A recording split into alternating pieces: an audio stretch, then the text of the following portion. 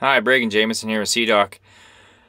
Today I'm going to show you guys how to go about uh, changing a PM4, which is mounted, which is what we use for our uh, tank and toolbar. Um, they're like our nodes.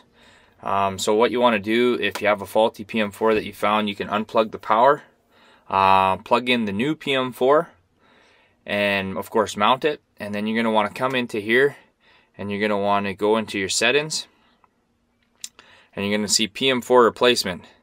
And it has a 1 beside it so if you click on that and it's already notified that something um, there's one that is not there anymore and a new one recognized. So you're going to want to go PM4 replacement. So the unmap the new one that you just plugged in is here. They're located with the serial number. And the one that you uh, that you figure is faulty is over here. You want to make sure that the serial numbers are correct. And if they are you go down to here and go next In here, you can do a perform test, and it's a light test, and it'll give you step-by-step -step procedure here. So if you hit that, you'll have a, a light test that'll go to the new one, and it'll do a quick uh, test on the new PM4. After that, you just go next.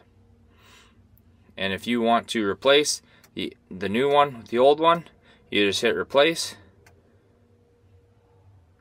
and you're done. And that's how easy it is to change a PM4. Whoop.